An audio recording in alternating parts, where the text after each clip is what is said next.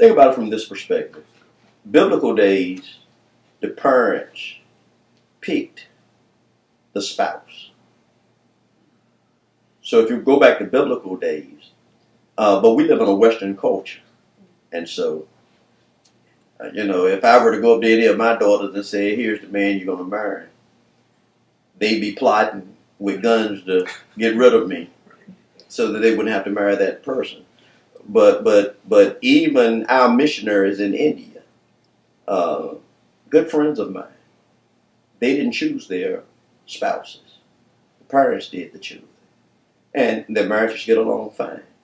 Uh, just depends on the culture that you come out of. Now that wouldn't work in our westernized culture, but but for our young people who date, you have to be careful because the people you choose to date are the people that eventually one day you're going to marry. You know, the Bible says to not be unequally yoked. Well, that really includes even dating. Now, what I hear a lot of times is a young lady will say, Well, I, I dated a guy in church, and he was worse than the, the folk who won't save. He, he I mean, he couldn't keep his hand off me every time we went somewhere. He was trying. Well, then when that happens, you know that even though he's in the church, he's really not in the church. Leave him alone. But don't write off the possibility of God having a young man who loves him. One of the problems is, even in the church now, the mentality of the culture has seeped into the church.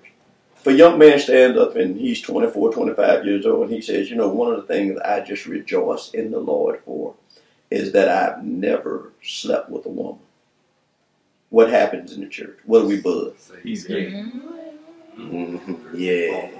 Yeah. He, he slept with woman, but he likes sleeping with. All of us was. So you see how much culture influences us. But if a young lady stands up and says, you know, I praise God that I'm 26, 27 years old, and I'm still saving myself for my marriage. Every young man's antenna goes up in the church, and he says,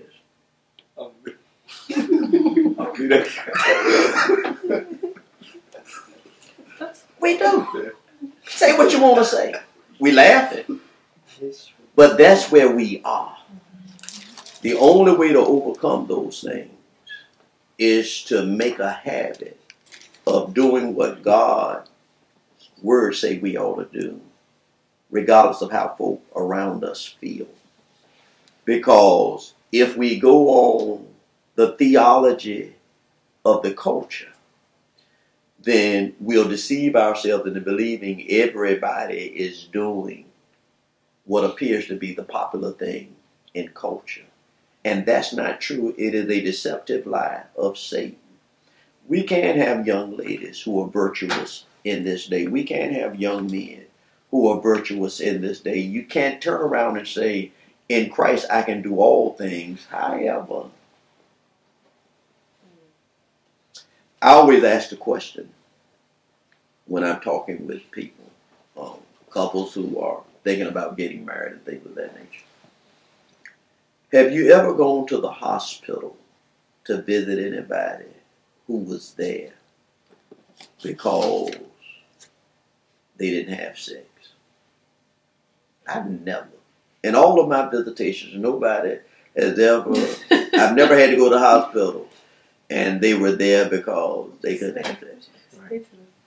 And yet, people will try to convince us that we can train killer whales, tame lions, make 30 ton elephants do the stuff we train them to do.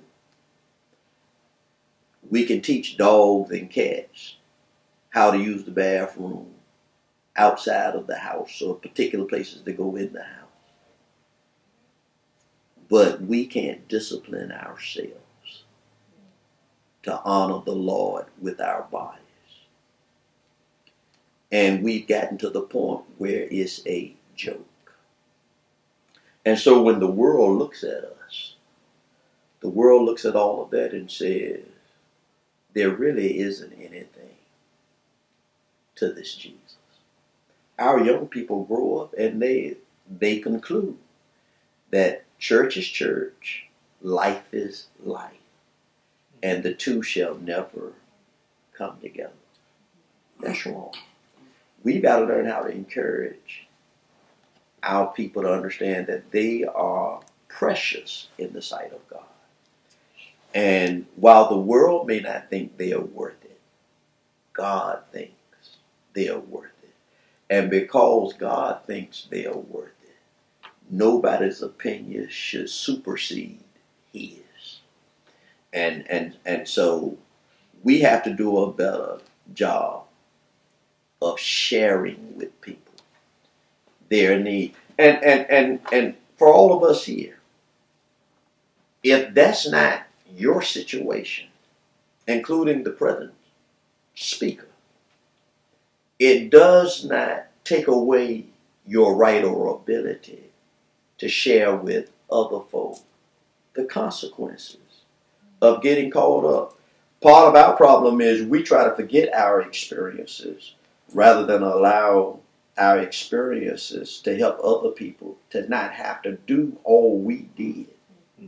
For every marriage that ended up like mine, there are thousands of children, hundreds of thousands of children who grow up in a situation where they don't know the daddy. They got 10 children and 10 different daddies and ain't none of them helping. All kinds of things, all because people didn't stop to say, hey, look, it was the decision I made. Yeah, I made it, but it was the wrong decision. You don't have to make that decision because every situation may not turn out the way mine did. And we have to be willing to do that rather than suppressing. It doesn't make you lesser of a person because you gave in to darkness. I wish somebody had gotten hold of me as a high school student. See, but I was taught the opposite. The, the world's theology was my oyster. Little Rick, pretty boy Rick. What did I do? I used all of that so that I could have destroyed a whole lot of lives, probably more than I did. Thank God that God in His grace and mercy didn't say, because you were a no count rascal back then, I can never use you in the kingdom. God can take your witness, your testimonies of where He's brought you from and use you in greater ways than you ever thought. It is in your weaknesses that God's strength is revealed. It's not in your trying to walk upright and show this strength that you got. It's okay to acknowledge. And, and, and so when you acknowledge your weaknesses, there are some places I'm not going. Um, how many single people do I have? Two, two single. I, I would just say to them, in your dating, don't be scared to date. Date. But put limits on where you will go. Because I got to tell you, once the train starts heading down the track, you can have your mind set all you want. I ain't. I'm, no, it, it, it, Katie bought the door. It's done. You can have Jesus, the Father, the Holy Spirit. Your body is going to give in to that moment. So don't put yourself in those situations. What do I look like talking about I love Lynette? But I'm in a room filled with naked women. Because what's to happen if I walk into a room with naked women? What, what do you think to happen? I ain't to walk out unscathed. Because I love women. So what am I going to You know what I'm saying? That, that's true of all of us. So, so, so, so why put yourself in that situation and then get on your knees talking about, Lord, please, please help me, Lord. Lord. no, the, the, help from the Lord was don't go. But they don't even go on. Or shooting your arm with drugs and then praying, Lord, please, don't let these drugs do to me. What, what are the drugs designed to do? Get you high. So you can't take the drugs and then pray. I know you all didn't maybe intend for me to be as raw as I am, but it is where we are. And and I think that we sugarcoat too much in the church. And folk in the church getting their information from folk in darkness. And they get down to the nitty gritty. And we're here talking about the birds and the bees and the no, no. It is what it is. And guys gonna be guys until the Lord calls us out. And young ladies are gonna be young ladies. And and so we have to know where our limits are and say I'll go no further. And if a guy says, you know, well I, I I'm gonna get with somebody else because I can't handle you. Thank God that you were not one of his notches on his belt so that he could tell. If you're talking about my oldest daughter, she'll tell you what I used to tell all her, her and her little friends. If you all don't want to have y'all's names discussed in the cafeteria, because ain't nothing more embarrassing than being in line in the cafeteria and all the boys pointing at you. Saying, yeah, he said he, he got her, he had her.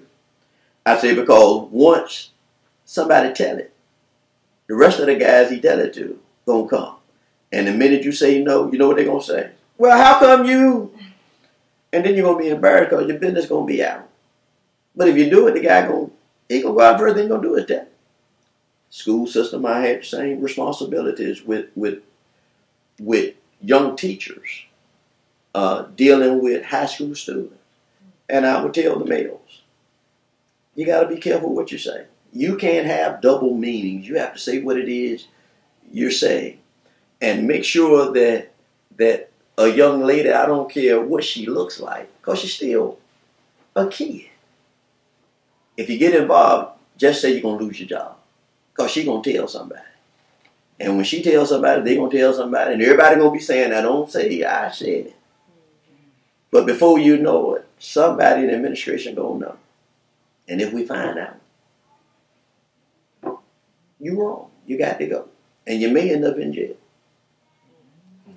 So, so you know, when you look around and you see all of these things, you got to understand the depth of the forces that you're fighting, because everything around you is saying it's okay, and the Lord is saying you're going to be hurt by this. And and so we have to learn how but we have to do it in a loving way, not with condemnation. Because a lot of people get caught up in it and they're too ashamed. And they're afraid you're going to talk about them like a dog and all of that. That's not love.